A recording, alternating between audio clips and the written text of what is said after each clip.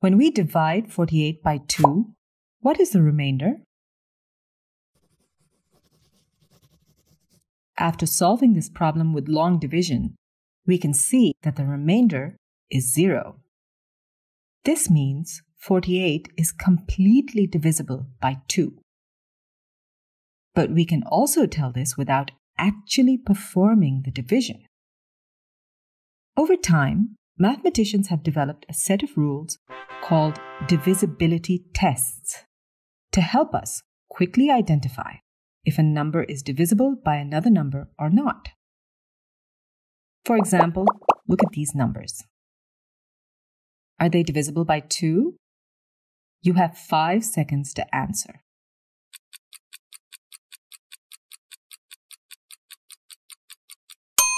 Time's up!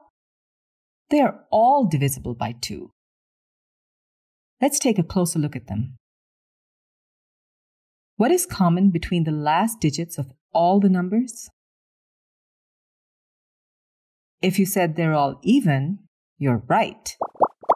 This means that if the last digit of any number is even, the whole number is divisible by 2, no matter what the rest of its digits are. Now, let's learn the divisibility rule of 3. The rule says if the sum of the digits of a number is divisible by 3, the whole number is divisible by 3 as well. For example, take a look at these numbers. 3 plus 1 plus 8 is equal to 12, which is divisible by 3. This means that 318 will also be divisible by 3. Try checking this by doing some long division. Can you tell which group of numbers is divisible by 5? A or B? If you said group B, you're right. The divisibility rule for 5 says that if the last digit of a number is 0 or 5, that number is divisible by 5. Finally, the easiest divisibility rule of them all is of 10. It says that if the last digit of a number is 0, then the whole number is divisible by 10. Let's see these rules in action before we move on to practice. Look at this number.